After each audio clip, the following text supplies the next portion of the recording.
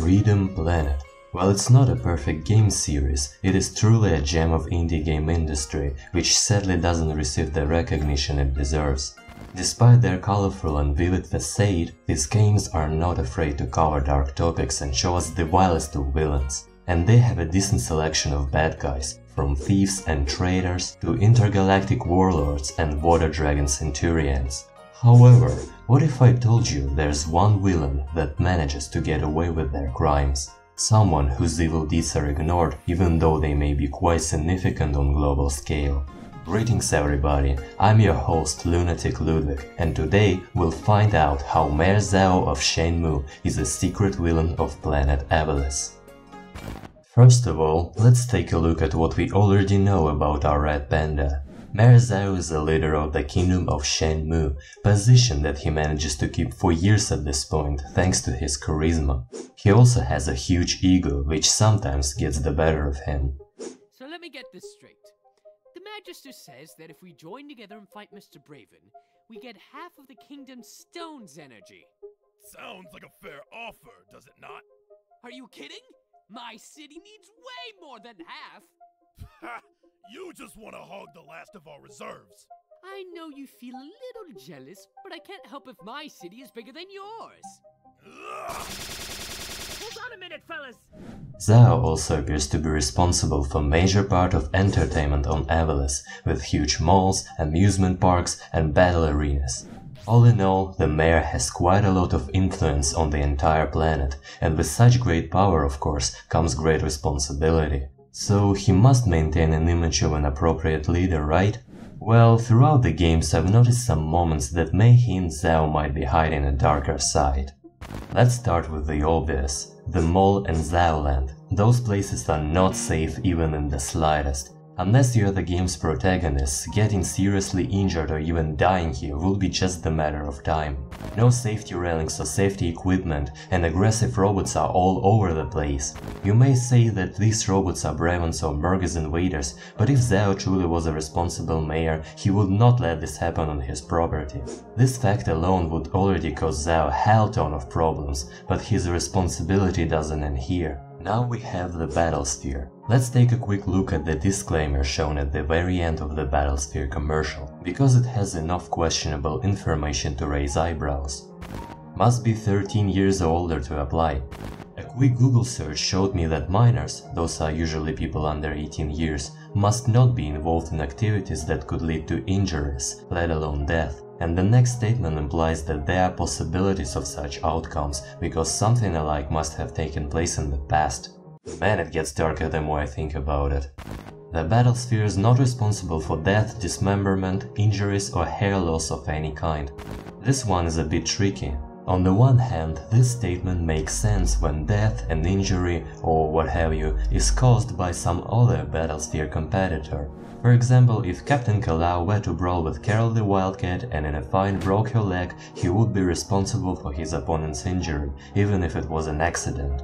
However, such battles are more of an exception to the usual challenges of the Battlesphere, at least from what we see in the game. The vast majority of the Battlesphere challenges are battle against robots made especially for that purpose, for injuring those who dared participating. Not only that, but spikes, flamethrowers and many more exceptionally dangerous hazards are present in these challenges. I mean, how many Saul Goodmans and Phoenix Wrights you need to pay to dodge every single liability that would come from the Battlesphere alone? Oh, and you seemingly can demand a refund for entering the arena regardless of how dire of a situation you got yourself in. And the cherry on top gotta be the prizes. Just imagine going through the literal hell of the Battlesphere challenges, getting burned, impaled and every single bone in your body cracked just to receive a free dinner coupon. Yeah, I can relate to Carol's disappointment here. Sure, those came in handy for the heroes later in the game, but in regular circumstances, a prize like this is not worth the effort you have to put into fighting. Then there are the time capsules, which, of course, good thing that Lilac and friends get to obtain them, but unless you're a historian, this would be practically worthless. That just shows how greedy Zao is and how indifferent he is to all the chaos that is happening to regular people around him. Nevertheless, this is something other characters don't consider morally wrong or even arrogant on Zao's part. After all, some NPC claims that none other than General Gong got his position in Shang Tujian army because the Magister witnessed his Battlesphere performance. But there are also some moments that I find quite suspicious. Let's have a look at one of the Battlesphere's many challenges, namely Battlebot Revenge. Its description says, plow through all of the Battlesphere's unique enemies and bosses in one sitting. And they are the enemies that you will face in this challenge, but here's a catch. These two robots will appear later in the game, in Globe Opera 2 and Tidal Gate to be specific. By the way, while trying to find out if any of the Battlesphere's robots were used in the stages you can access before entering the arena, I found out that Battlesphere challenges use the same fire-throwing enemies as Airship Sigwada and much later in the game Clockwork Arboretum.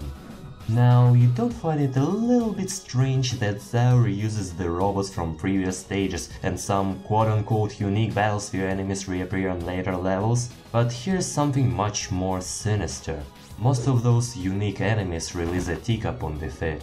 According to Kukri, an NPC from Adventure Square Hub, Tiks are the dark spirits that control the robots, and Tiks are also released after defeating the robots that obey none other than Merga.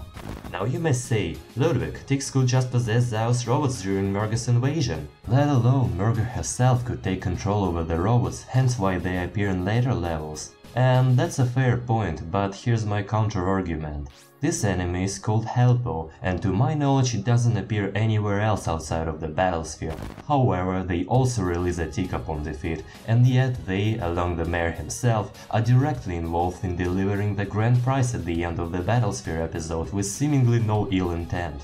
The fact that the player can't really learn about the ticks until they reach Parusa suggests that these spirits are native to Parusa, and Merga, having the islands as her center of operation, figured out a good use for them. But how in the world Zao, out of all people, was able to take control over Tiks? We know Zao traveled to Parusa at least once in order to recruit Captain Kalaw as a Battlesphere champion. But for some reason when you're traveling to Parusa by Zao's airship, he doesn't want to get too close. You may automatically assume he's just afraid of Merga or her followers, but no. Later he provides Team Lilac with aerial transportation to the volcano, and then he also picks the girls up and begins a chase after Bakunawa. Reason must be something else. For starters, why didn't Merga just kill the mayor when she took him hostage, if, as she states, he's just a miserable speck of a man? Because she needs Zao for something, and killing him now is invaluable to her. Merga shows clear signs of a psychopath, so her keeping Zao alive isn't out of any good intent, but rather for personal gain. So what if Zao and Merga are working together? Zao provides Merga with his robots, and Merga in return spares Zao's life and doesn't invade Shang Mu. If Merga saw Shang Mu as a threat, she would have made sure nobody prepares a counterattack from here. With that said, why does Sigwada shoot down Zao's airship when approaching the volcano? Well, a deal between Zao and Merga didn't involve her followers, thus Corazon still thinks that Zao is a threat, or at least a nuisance that needs to be disposed of. But then, why does Zao help the heroes in stopping Merga's plans and even goes as far as chasing down Bakunawa with cannons, albeit it ends up in failure? There's no way we'd catch up with her now!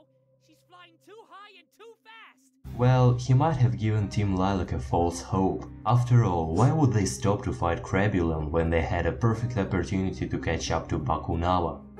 But what's more likely, is, Zao agreed to help for personal gain as well. The only reason he took Team Lilac to Parusa is because he wanted to recruit a new Battlesphere champion, and gets annoyed whenever he has to pick up the girls. Yet he still does it just to charge them with a fee when it's all over. What else would you expect from someone who is more concerned about making an apology video rather than the one and only moon of Avalice being destroyed? Pause. There's one argument against my theory that I remembered only when I began editing this video. So, after abandoning Steel tied up Mayor in the auditorium, Team Lilac plus Gong and the Magister went to the City Hall of Shang Mu to find shelter in Zao's domain, and he, regardless of what happened recently, still lets them in and though unintentionally, agrees to help them further. Not something I'd expect from Mayor's childish behavior, but I can explain this. Perhaps Zao let the heroes in because it was his another scheme to earn more money, and this coupons Team Lilac won worth nothing. He later proceeds to brag about his library and airship, but then he regrets it because it will make him put himself in danger later, and he may not earn any money from that. Different villains in a single story do not have to pursue the same goal, and while Merga wants to take revenge on Earth Dragons and Serpentine wants to reunite with his master Lord Brevon, Mayor Zao just wants to keep his wealth and reputation. And while there's nothing particularly wrong with that, Zao has some, should I say, shady means of achieving his goal. He even allied with Brevon in the first game, or more like brainwashed Prince Dail, as his involvement played a major role in stealing the Kingdom Stone. The alliance was short-lived however, as Brevon turned his back on Zao once his role was played. This is Ludwig from the future speaking, and I'd like to retract my previous statement about Zao allying with Brevon, because this is not the case. Listen what Zao has to say when he loses the Kingdom Stone. It's gone! My one chance for re-election is gone! Later we learned that Zao took the Kingdom Stone just to solve the energy crisis Shang Mu was facing overnight. That, however, doesn't deny the fact that Zao committed a serious crime by putting a source of energy of the Three Kingdoms in grave danger, and later he refuses to team up with Shang Tu in order to contribute to retrieving the Kingdom Stone back until he was told of benefits he gets from that, of course. In the end, is just a greedy businessman who values himself and his personal gains above anything else. What I personally find creepy about this villain archetype is how realistic it actually is. You don't have to kill someone to be evil, it's your regard towards others that says enough. And there's a lot of people like Mayor Zao in our world, except they may be far worse. But after all, it's just a theory, a game theory that is, and it doesn't have to be correct. If you enjoyed this video, consider leaving a like and subscribe on this channel. This has been Lunatic Ludwig. Until the next time.